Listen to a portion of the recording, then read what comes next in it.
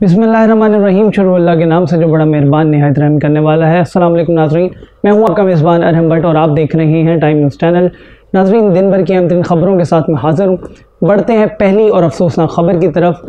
Kashmiri hero, Kashmiri एक नाम, कश्मीर का एक बहुत बड़ा लीडर सैयद अली गिलानी साहब जो हैं, इस दुनिया को रुखसत कर गए हैं। इन व राजून लेकिन उनकी वफ़ात के बाद भी भारतीय हुकूमत और भारतीय अफवाज जो हैं, वो डरे हुए, सहमे हुए हैं और उनके मैयत को कब्ज़े में ले लिया जाता है और उनकी मैयत को कब्ज़े में लेकर कहा जाता है कि जल्द से जल्द इनकी तदफीन की जाए, इनका जनाजा पड़ा जाए। हम नहीं चाहते कि कोई इश्तियाल अंगेज़ी हो, कोई धरने हो और कोई ऐसी सूरत हाल हो जो कि मुल्क के अमन अमान को ख़राब करे। ये क्या कौन रहा है? भारतीय फ़ौज। ये कौन, के कौन कह रहा है? भारतीय हुकूमत, जो कि ख़ुद कश्मीरियों के अमन अमान को दबाकर बैठे हुए हैं। और एक बंदा जिसने सत्तर साल, तकरीबन सात दिहाइयों से कश्मीर की आज़ादी के लिए जद्दोजहद के लिए अपनी ज़िंदगी वक्फ कर दी और उसकी तदफीन ऐसे होती है कि सिर्फ़ करीबी रिश्तेदार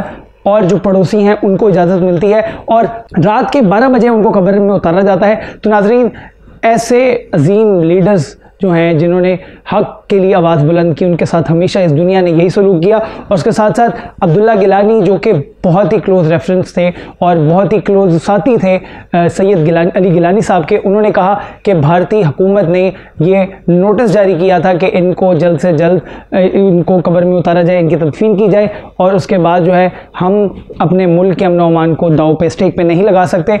आपको बताते चलें कि अली गिलानी जो थे, उन्होंने पहली दफ़ा 1962 के अंदर अपना अलम बुलंद किया और कश्मीर के एक लीडर के तौर पर सामने आए और उसके बाद फिर उन्होंने अपनी ज़िंदगी वक्फ कर दी। उनकी उम्र जो थी बानवे साल थी और बानवे साल की उम्र में उन्होंने इस दुनिया फ़ानी को रुखसत कर दिया। अब जो है, बात जो है बहुत ही कॉन्ट्रडिक्शन जारी है। बानवे साल की उम्र में इस दुनिया फ़ानी से रुखसत हो गए और नाजरीन ये वो लीडर था जो कि कश्मीर की आवाज़ बुलंद करने में, कश्मीर में पहला बंदा था। और उसके बाद जो है, बहुत लोग आए, लेकिन वो कंसिस्टेंसी हमें नज़र नहीं आई। उस जद्दोजहद की जो कि हमें सैयद अली गिलानी साहब में नज़र आती थी। और उसके बाद जो है सैयद अली गिलानी साहब ने ये कहा था कि मेरा ख्वाब है कि मैं अपनी ज़िंदगी के अंदर कश्मीर को आज़ाद देखूँ। अल्लाह ताला उनको जन्नतफरदौस में आला मकाम अता फ़रमाए और उनके लवाहिकीन को सब्र जमील अता फ़रमाए। और उनकी जो मेहनत है अल्लाह ताला उसको जल्द से जल्द सुरखरू करे और कश्मीर जो है, जल्द से जल्द एक आज़ाद ममलिकत बने। हमारी दिली दुआ है। अब बढ़ते हैं नाजरीन। दूसरी अहम खबर की तरफ़ पंजाब में जो केसेस की शरह है, वो दिन ब दिन कोरोना के केसेस की बढ़ती जा रही है और जो अब जो मस्बत केसेस की जो शराई है, वो सात फ़ीसद हो चुकी है। और ये बहुत ज़्यादा अलार्मिंग सिचुएशन है, क्योंकि यूनिवर्सिटीज़ कॉलेज उसके साथ साथ जो रोज़मर्रा का कारोबारी तबका है सब कुछ खुल चुका है रेस्टोरेंट्स खुल चुके हैं डाइनिंग खुल चुकी है। और उसके बाद अब ये देखने में आ रहा है कि केसेस जो हैं वो दिन ब दिन बढ़ते आ, आ, जा रहे हैं। फैसलाबाद में जो मस्बत केसेस की शरह है वो बारह फ़ीसद है। और उसके साथ साथ मुल्तान में ग्यारह अशारिया ग्यारह फ़ीसद मस्बत केसेस में इजाफा देखा जा रहा है। और रावलपिंडी में जो शरह रही है वो दस अशारिया पाँच।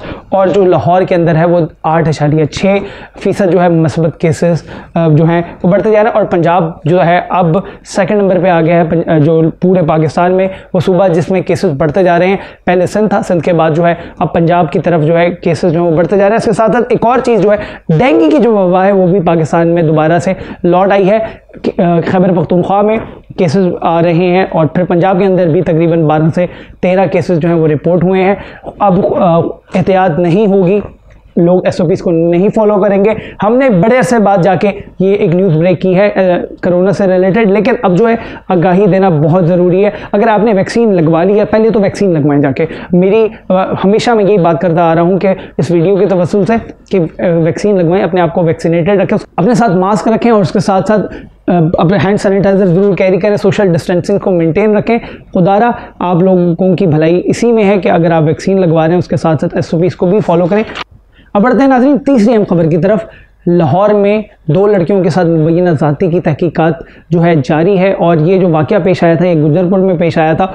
एक पार्टी थी और उस पार्टी के अंदर दो लड़कियों ने एक फैक्ट्री का मालिक था, उसके ऊपर ये इल्ज़ाम लगाया था कि इसने हमारे साथ साथी की है और पुलिस ने फिर उस फैक्ट्री के मालिक को जो है अपनी हिरासत में ले लिया और हिरासत में लेकर तहकीकत शुरू की। तो फैक्ट्री मालिक का जो बयान आया है, उसने कहा कि जायदाद का तनाज़ा था, कुछ पैसों का मसला था, जिसकी वजह से मैं इनको पे नहीं कर पा रहा था, जो मैं इनको दे नहीं पा रहा था। उसके तनाज़े में इन्होंने मेरे ऊपर ये घिनौना इल्ज़ाम लगाया है, मैं बिल्कुल बरी ज़िम्मा हूँ। आप बेशक फॉरेंसिक टेस्ट करवा लें दूध का दूध पानी हो जाए, दूध का दूध पानी का पानी हो जाएगा और आप सब जो हैं, मुझे जानते हैं, अब वो फैक्ट्री मालिक का नाम अभी तक डिस्क्लोज नहीं किया गया और लड़कियों का यही कहना है कि इसने हमारे साथ एक बार नहीं, दो बार नहीं, बल्कि तीन बार जाति की है। तो ये जाति के वाक़ात भी जो हैं, अब दिन ब दिन बढ़ते जा रहे हैं। इनमें भी रोकथाम के लिए गवर्नमेंट को चाहिए कि वो रूल्स एंड रेगुलेशन को इम्प्लीमेंट करवाएँ।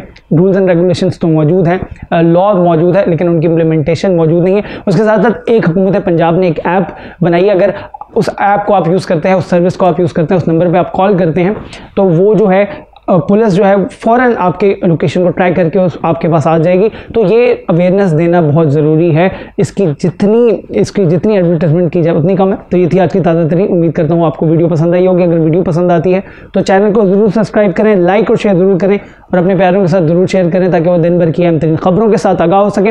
अपने मेज़बान आरम भट्ट को इजाज़त दीजिए। अल्लाह ने के बान।